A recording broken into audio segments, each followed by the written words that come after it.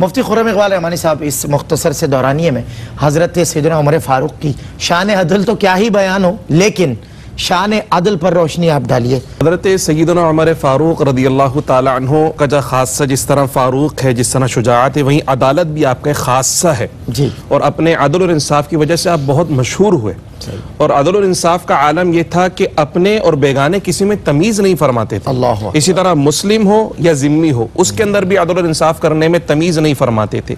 एक आम मुसलमान हो या वाली रियासत हो तो आप उसके अंदर भी तमीज़ नहीं फरमाते थे। अपना सगा हो या गैर हो। उसके अंदर भी तमीज़ नहीं फरमाते थे। जब इंसाफ फरमाते तो सबको बराबर रखा करते थे। यहाँ तक कि वाली मिस्र उनके साहबजादे ने किसी मिस्री को मारा और बिला वजह मारा।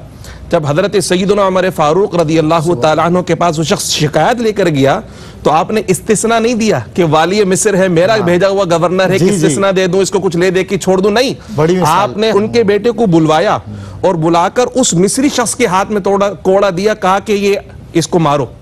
इनके बेटे को मारो। अदल की मिसाल अदल की मिसाल। कितनी जब वो बेटे को मार चुके। तो कहा आप इस इस गवर्नर को भी मारो कि इसने उस वक्त खबरगिरी क्यों नहीं की? क्यों नहीं की? तो उस मिस्री ने कहा हुजूर मुझे बेटे ने मारा था मैंने बदला ले लिया बाप ने नहीं मारा था मैं इनको मारने की ज़रूरत नहीं कर सकता। मगर सईदना उमर फारूक ने उनकी सख्त सरजनिश फरमाई कि हुआ कैसे?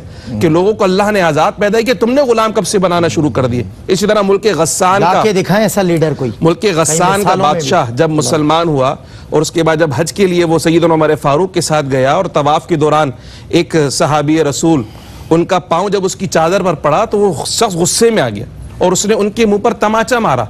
तो जब सईद उमर फारूक की बारगाह में केस गया तो आपने ये नहीं फरमाया, यार, वो इलाके का बादशाह है, जरा जाने दो, कुछ मामला हल्का रखे। फरमा नहीं का जब इंसाफ की बात होगी तो एक आम आदमी और बादशाह दोनों बराबर। बराबर। वो इस बात पर बरहम हो गए कि आप मुझसे आम आदमी के लिए बदला लेंगे। फरमा इंसा इस्लाम की नज़र में और इंसाफ की नज़र में दोनों बराबर हैं बदला लाजमी लिया जाएगा।